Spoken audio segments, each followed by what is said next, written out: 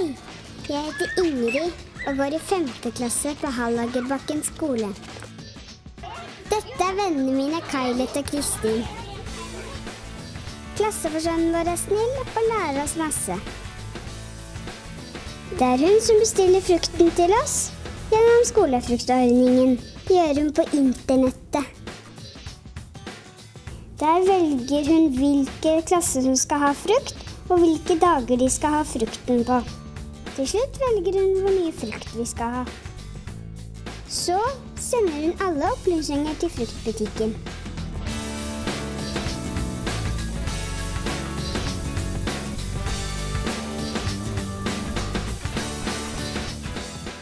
Der finner de fram all frukten vi skal ha, og legger i kasser.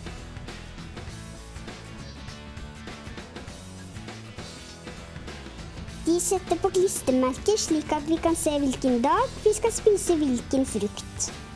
Der slipper vi f.eks. å spise brune bananer. Vi har lært at frukt og grønt er skyldig til viktige næringsstoffer og kan forebygge alvorlige sykdommer. Vi får besøk av Fruktbilen hver tirsdag og fredag. Ordenseleven må hjelpe å lagre frukten i kasser. Vi lagrer alltid frukten i skap vi har fått fra skolefrukt, sånn at den holder seg bra. Denne uken er det min, Kylet og Kristin sin tur til å hente. Frukten tar vi med opp til klassen vår.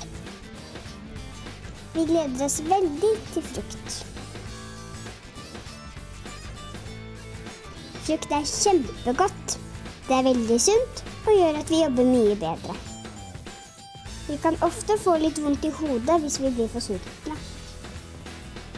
Vi får ulik frukt hver dag. Eple er min favoritt.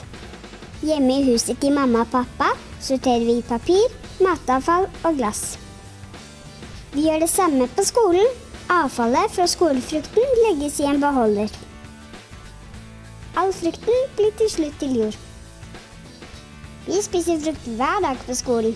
Det er godt og sunt. Læreren vår har forklart oss at gode kostvaner må læres tidlig. Hvis du spiser lite frukt og grønt som barn, spiser du også lite som voksen.